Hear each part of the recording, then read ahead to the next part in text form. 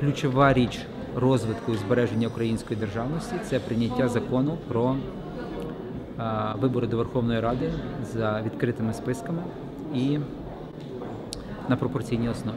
Неприйняття цього закону цією Верховною Радою дозволить відтворити себе олігархату в наступній раді, і сенсу взагалі про щось говорити в цій державі і жити буде дуже мало. Насправді є дуже серйозна філософська проблема.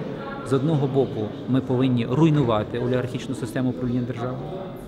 З іншого боку, ми повинні будувати українську державну інституцію демократичну.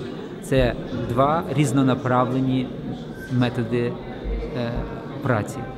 А, е, Але е, це треба якось об'єднати для того, щоб е, бо держава тільки за таких умов може е, вижити.